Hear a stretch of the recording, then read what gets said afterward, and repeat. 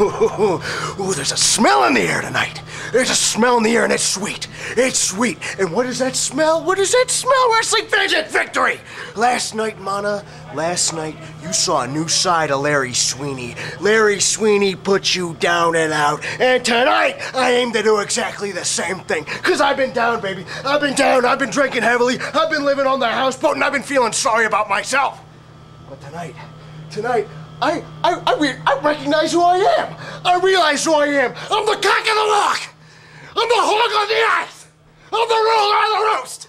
And tonight, tonight, Milano Collection AT, there's nothing, nothing that's gonna stop me from being champion once again. Yeah!